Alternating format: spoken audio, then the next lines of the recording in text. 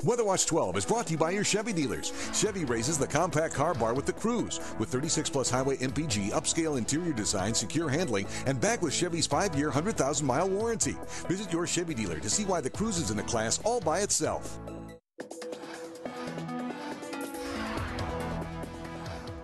We had springtime on Wednesday the high temperature of 55 degrees, almost a record.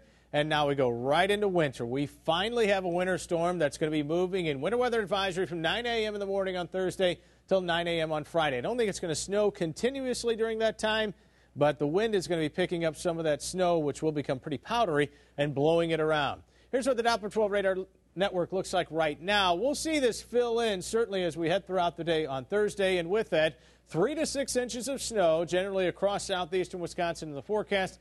Again, you got to remember how to learn to drive again during this uh, stuff. Just remember a lot of space between you and the car in front of you as the snow will be coming down. I think the heaviest snow we're going to get probably near the evening rush hour time.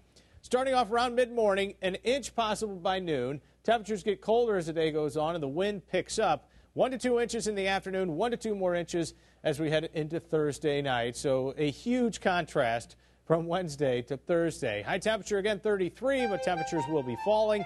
A total accumulation again of three to six inches. A couple more snow showers possible on Saturday. Stays kind of chilly throughout this forecast. For WISN.com, I'm Chief Meteorologist Mark Baden.